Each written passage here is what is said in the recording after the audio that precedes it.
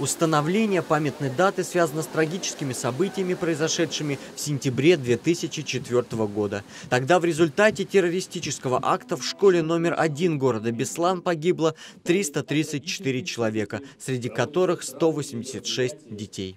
Эти нелюди, преследуя свои интересы, пошли на самое страшное. Попытались использовать детей. Мы, подрастающее поколение, взрослое поколение, вы, ребята, должны всегда помнить эти дни и не забывать о том, что мы всегда будем поддерживать в первую очередь мир на земле. Со сцены в этот день было сказано много слов, и в каждом противостояние террору. Дети читали стихи и пели песни в память о погибших.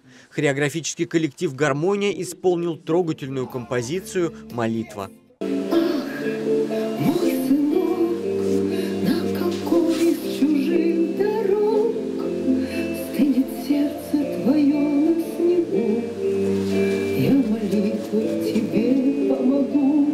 И пусть большинство из этих детей еще не родились, когда произошли те страшные события в Беслане, они знают историю того дня, когда праздник обернулся ужасной трагедией. Я знаю то, что это произошло в, 2000, в 2004 году в Беслане.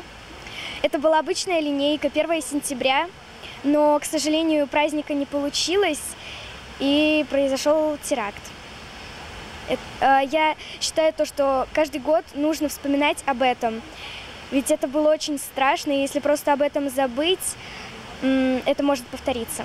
Но забыть эти события не получится никогда. В завершении митинга наступила минута молчания, а после в небо выпустили сотни белых шаров. Я помню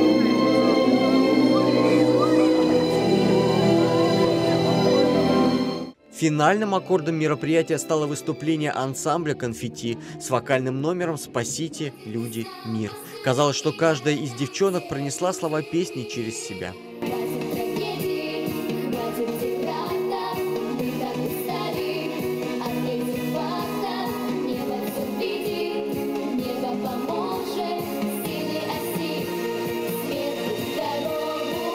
Алексей Мельников, Владимир Бежонов, Ольга Садовская. Видное ТВ.